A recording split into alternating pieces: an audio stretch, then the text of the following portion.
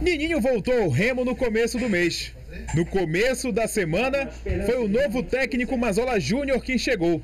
E os dois já se conhecem desde os tempos das categorias de base do esporte do Recife. Ele tem esse, esse jeito dele de trabalhar, eu conheço, apesar de fazer bastante tempo, mas eu lembro da época dele lá no, no esporte onde eu trabalhei com ele na base.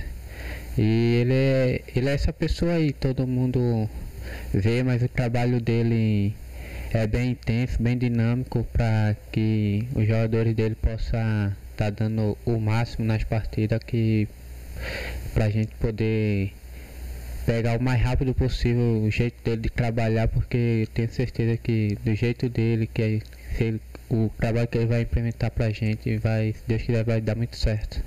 Nininho sabe que conversas individuais são comuns com Mazola.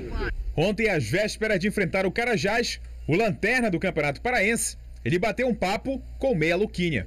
O novo técnico azulino terá menos de uma semana para definir o time que vai enfrentar o Carajás. Hoje, apenas o registro do aquecimento.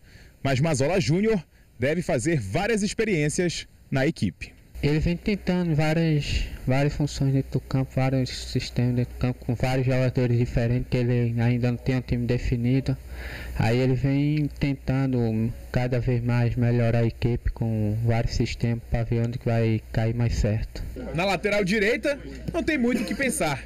Nininho, o único especialista na função na equipe, tem vaga certa. Nada de improvisos.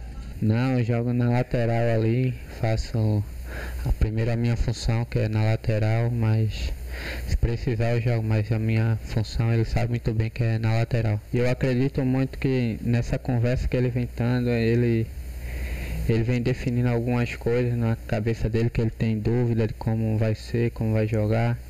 Mas independente de quem for jogar, no sistema que for jogar, a gente vai sempre buscar as vitórias.